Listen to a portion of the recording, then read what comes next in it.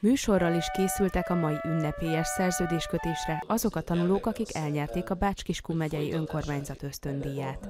A Bács-Kiskunban itthon vagy elnevezésű pályázatot néhány éve találták ki azért, hogy a fiatalokat segítsék céljaik megvalósításában, és egyúttal az itthon maradásra ösztönözzék őket.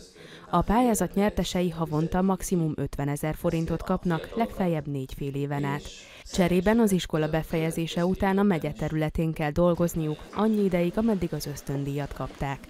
Kedden aláírták a szerződéseket a legújabb ösztöndíjasokkal. Képeink két konzorciumi település, Solt és Kunszent Miklós ösztöndíjasainak szerződéskötésekor készültek. Az eseményen Rideg László, a megyei közgyűlés elnöke elmondta, a megye 11 járása közül négy csatlakozott a pályázathoz. Hozzátette, a pályázatot szeretnék a jövőben is folytatni, és remélik, hogy ennél is nagyobb területen írhatják ki.